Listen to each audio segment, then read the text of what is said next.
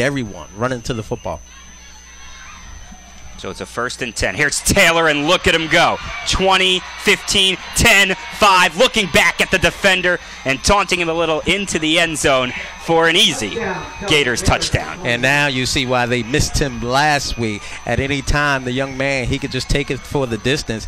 Uh, you got to give credit to his teammates on this play. We'll get a look at it.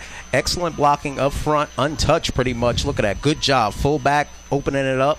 Offensive lineman doing a good job. And then it's just a sprint to the end zone. And Kelvin Taylor's on cruise control right there. So that touchdown goes 40 yards. And we'll see an extra point. point, and